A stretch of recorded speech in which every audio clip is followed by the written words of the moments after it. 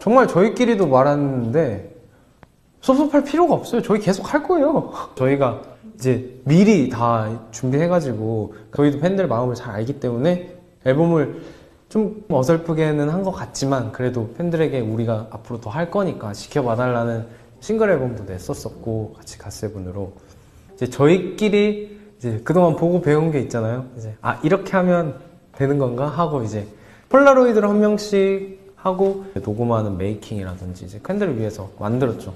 그 앨범에 대한 에피소드는 우리가 이제 아무래도 JYP에서 다 나가게 되면 해체다라는 생각을 되게 많이 하실 것 같았어요. 근데 우리 마음은 그게 아닌데 보여주지 않으면 모르잖아요. 그게. 그러니까 이거를 우리가 빨리 준비를 해보자. 일단 우리끼리 있는 곡을 막 모았어요. 야, 이건 가사가 이래서 안 돼. 왜냐면 팬들에게 가장 적합한 해주고 싶은 말을 해야 되잖아요. 자, 곡을 정했으니 녹음을 해야 되고 이런 걸 생각하는데 너무 복잡한 거예요. 네, 해서 없이 저희끼리 돈 모아서 저희끼리 녹음 잡고 막 이렇게 으쌰 으쌰 해가지고 진짜 한 건데 사실 그 전에 앨범 퀄리티보다는 조금 낮죠.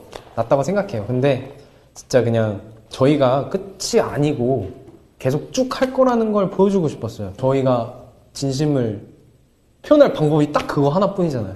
앨범. 각자 이제 하다가 또 찾아오는 날이 올 거예요. 네. 신인이에요. 누가 물어봤을 때만 아 이제 8년 됐어요 하면 "헉, 그렇게 됐어요? 아 응? 네. 저라는 사람이 좀 알려져야 아무래도 많은 분들이 들으시니까 노래를 음악 앨범을 내는 게 목표입니다. 지금은 이제 뮤지컬을 준비하고 있고 이제 연기 한 게 이제 넷플릭스에서 6월에 또 방영이 되니까 여러분들 많이 챙겨봐 주세요.